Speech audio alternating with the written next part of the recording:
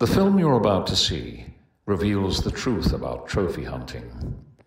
About an industry that takes tiger cubs from their mothers and raises them until a trophy hunter shoots them in an enclosure. About an industry that is killing thousands of some of the world's rarest animals in the wild for profit and for entertainment.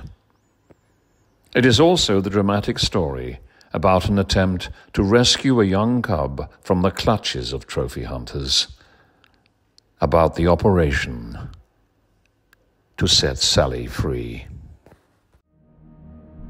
This is the story of Sally, a tiger cub bred for the bullet, to be shot by a hunter for a trophy by an industry that breeds thousands of big and small cats every year, who are then killed for sport and for a souvenir. Our story begins in South Africa, a country where trophy hunting is big business for the country's wealthy white minority. British hunters flock here every year in search of trophies of Africa's extraordinary yet increasingly endangered wildlife.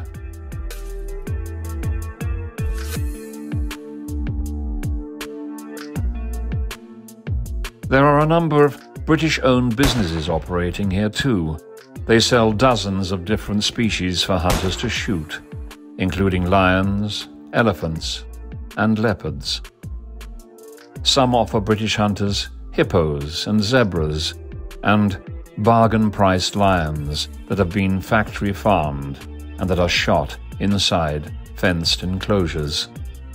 Special discounts are on offer by selling the animals' skeletons to Chinese dealers who use them to make tiger wine. British hunters bring the heads and skins of their victims back to the UK, where they're turned into trophies by the country's top taxidermists. Lions aren't the only cat being bred for the bullet, though. An undercover investigation by the Campaign to Ban Trophy Hunting has revealed how cats, such as leopards, are being reared in captivity for easy trophies. But perhaps most shocking of all, trophy hunters are quietly going to South Africa to shoot the most exotic of the big cats tigers. The campaign to ban trophy hunting went undercover to meet those responsible face to face.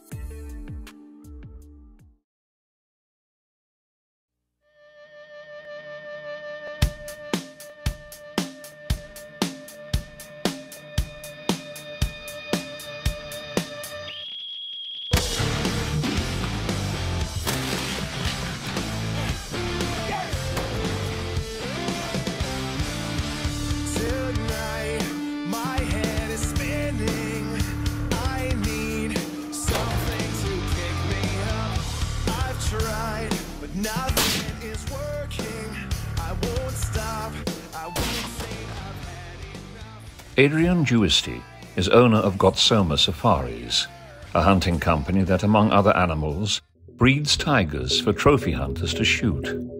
He was eager to show off his collection of big cats to undercover investigators. They included black maned lions, similar to Cecil, the lion shot by American dentist Walter Palmer, and white lions. He had also black leopards, ordinary leopards, white tigers, ordinary tigers, tabby tigers. He even had South American jaguars. He set up his own homegrown breeding operation. And he has clients willing to pay big money to shoot them. He told undercover investigators that he could do them a deal on tiger cubs for hunting. He also revealed to investigators that he was involved in cheetah hunting, traded big cat bones to Asian dealers, and how he was profiting from selling endangered rhino horns into Asia. He sent investigators pictures of his rhinos.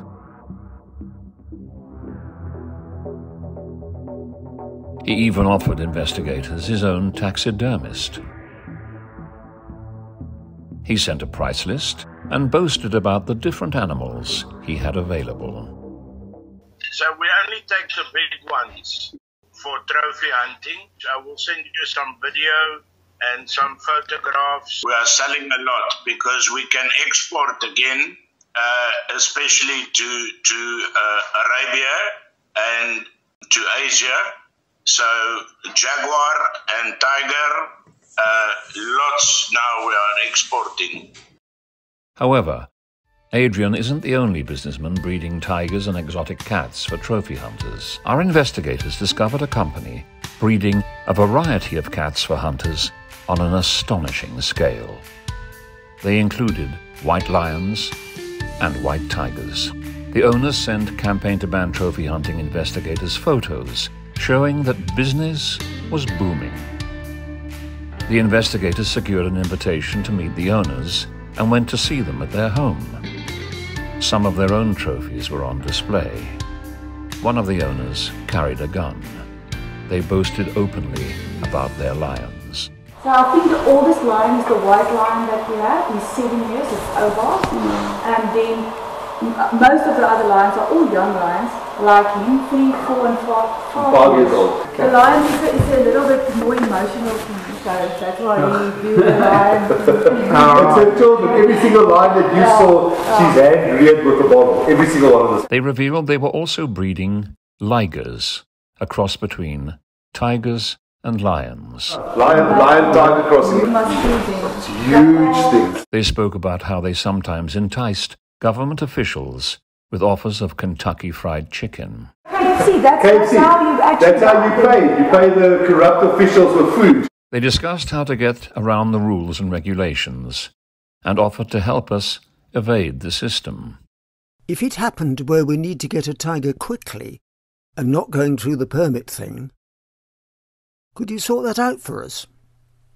Yeah, we can. You know what? I I'd rather do that um, than go through all the permit stuff. I'm honest with you. Well, let's talk about that then. So we could do that maybe as a normal thing. Just just the transport thing that that's going to be an issue maybe, but but we can overcome that as well. We know a lot of people in the industry as well that that's maybe close by, so we can always always a travel permit from, from here to them.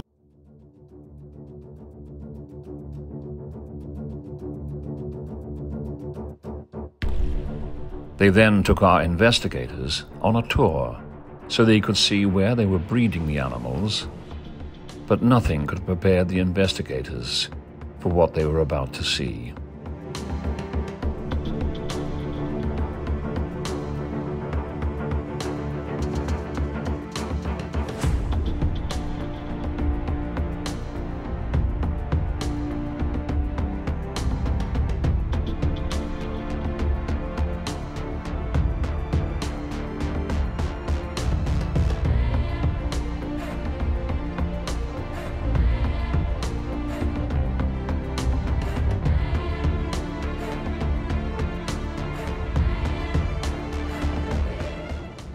Some of the animals were clearly used to humans and would prove an easy kill for any trophy hunter.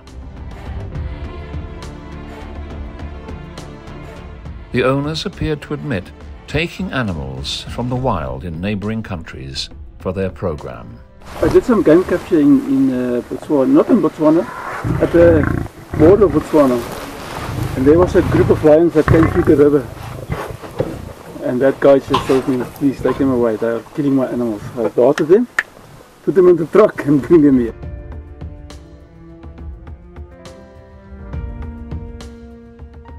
The ligers will be 120,000 per piece. Um, there's two of them. And then, yes, we can definitely assist um, with the hunting of the animals. We do the sell and the buy as well.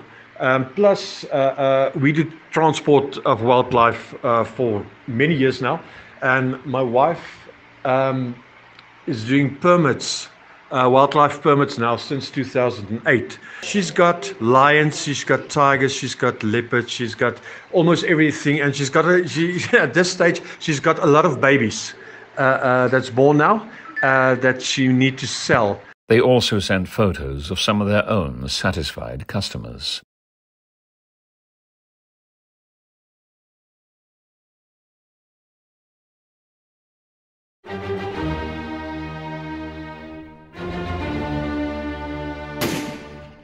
Marco Lucas is an avid gun enthusiast and an avid collector of animals. He's a keen trophy hunter too, who appears to like shooting cats. He made a DVD about his bow hunting adventures. He makes his money by selling hunting holidays to fellow trophy hunters.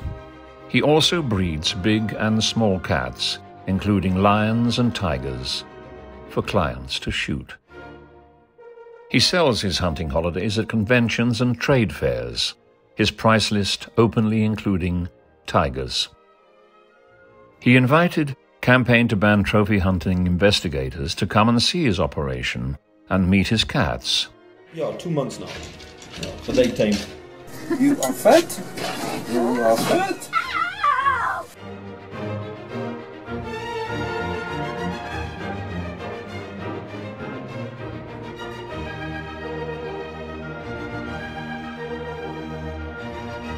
He then took us to see his local taxidermist and offered us one of his young tigers.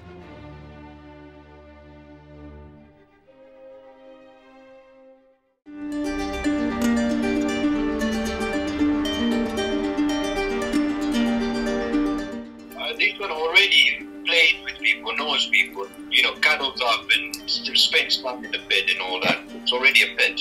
The investigators visited where the cub was being kept. There they found a number of cats and other animals being bred, many of them for the bullet.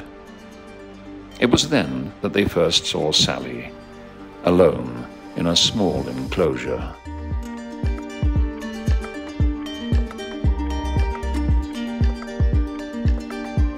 One of the individuals involved with Sally was a fixer who captured wild animals and moved them to estates for trophy hunters to shoot.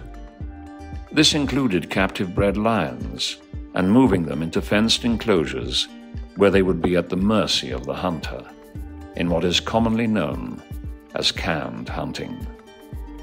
He was also involved in breeding lions and tigers and arranged for hunters to shoot them and other animals for sport. I've got elephant hunts in Zimbabwe. I've got um, you can hunt hippo, you can hunt lion, you can hunt all those things local with me in South Africa at very decent and reasonable prices.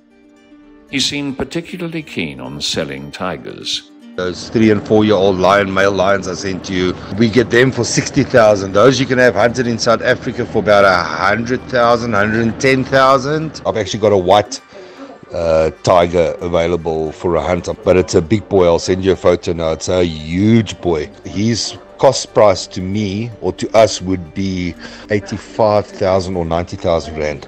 But I know that tiger itself can be sold for up to 170,000 rand for just to hunt it. He spoke openly about why he did it and his views of those who oppose trophy hunting. Uh, the, the, only thing with tigers in South Africa is it's, it's just frowned upon. You know, it's because of the um, the the tree huggers, all these greenies in South Africa. They just frown upon it. You know, it's not like it's not illegal, but they frown upon it. They just feel that why must you hunt a tiger? Which I feel that thing's on Earth. It's on Earth for a reason. It's got to, someone's got to eat it. It can't be the king of the jungle. Somebody has got to be above that and hunt it and kill it. He warned that the tiger hunt should be kept as quiet as possible. We just keep it on the down low. Nobody knows about it. We don't let the greenies find out about it or anything like that. Um, the animals that can move to the farm as well. The lady where I'm buying, she's got no issues if we hunt them. She believes that you breed it for a reason. It's got to be hunted. You can't keep the thing as a pet until it's bloody 20 years old. If we keep it between us only uh, and we don't let any greenies find out, then we'll be totally fine. But as the campaign to ban trophy hunting worked frantically to find a way to rescue Sally, the fixer suddenly turned. He now threatened to shoot Sally himself, there and then. I'll walk into that tiger camp this morning and I'll shoot that thing dead with a 9mm. And then there'll be no fucking tiger for anybody. Because I'm sick and tired of the freaking lying. I promise you, you do not know me, sir. I will walk into that cage and I'll shoot that tiger dead. It was now a race against time to rescue Sally. She was growing fast and soon would be big enough to be a hunting trophy. The investigators began making preparations to move her to a secret sanctuary before the hunters found out. After a nerve wracking undercover operation, Sally finally arrived at the sanctuary. It wasn't long before she settled into her new home, a place where she would now be safe from the hunters forever.